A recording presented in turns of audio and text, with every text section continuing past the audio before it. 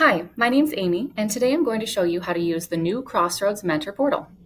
To set up your account on the Mentor Portal, you'll first need to check your email.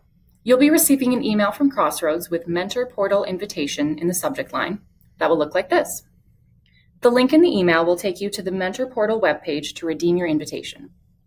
If you can't find the email in your inbox, don't forget to check your junk or spam mail folder. If you still can't find it, please call our office at 800 668 2450. Let's go ahead and click the link. As you can see, your personal invitation code will already be filled in.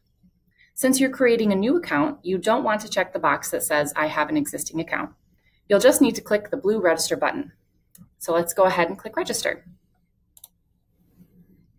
And that will take you to a page where you can create your username and password. Choose your username and password, type in the information, click register, and then your account will be created. Make sure to write down your username and password in a safe place. You'll need to use them every time you log into the portal. But if you ever forget your password, you can use the Forgot Your Password link on the login page. When you click the link, you'll be given instructions for resetting your password. So I'll type in our example, Fred Smith, right now. Go ahead and choose your username and password and write it down for safekeeping.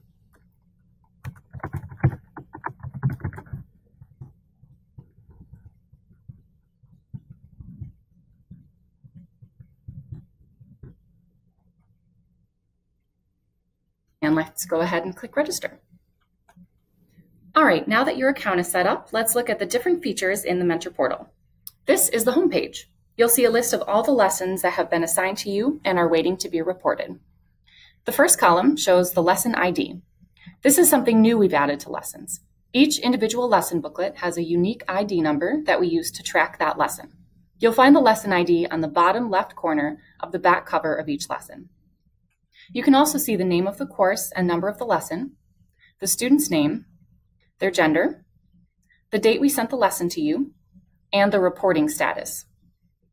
The reporting status tells you if you've submitted your report for that lesson yet. After you submit a progress report, a waiting report will change to report received. If you realize you made a mistake after submitting a report, don't worry. You can still go back in and make changes for 24 hours after you submitted the original report. Let's click on a lesson ID number to report a student's progress. So after you've clicked the lesson ID number, you'll be taken to the reporting progress page. There's a brief description here of what we're looking for in your reports, but if you need more information, you can click on this link right here.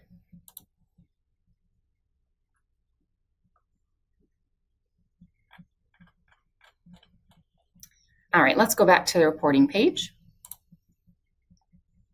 So to report your student's progress, you'll use these drop-down menus to select an option in the areas of completion, understanding, and application.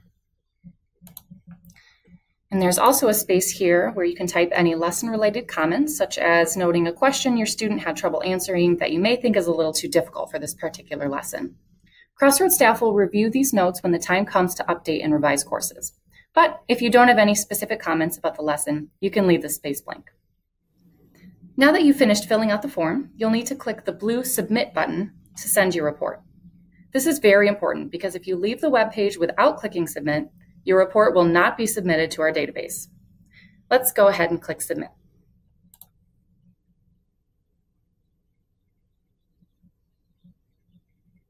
And your first lesson is reported.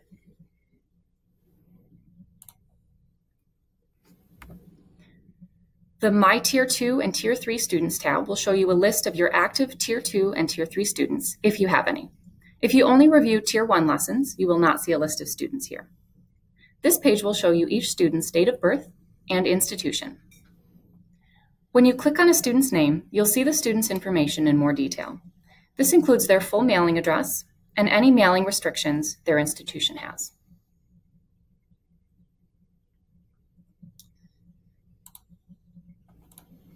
Next is the Hold Lessons tab.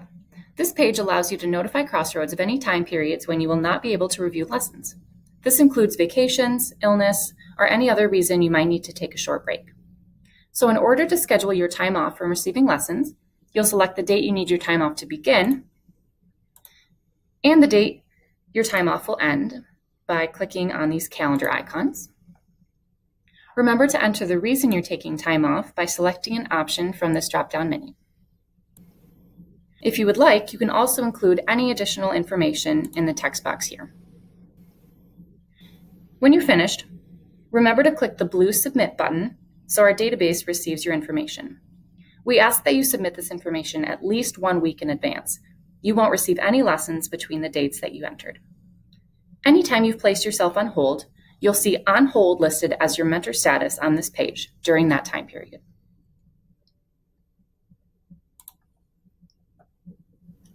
Next is Edit My Profile. On this page, you can update your contact information and change your password. To change your password, click on Change Password below Security, and you'll be taken to this page.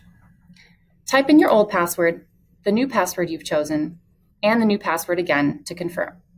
Remember to click Change Password to save your changes. And remember, if you ever forget your password, just use the Forgot Your Password link found on the login page to reset your password.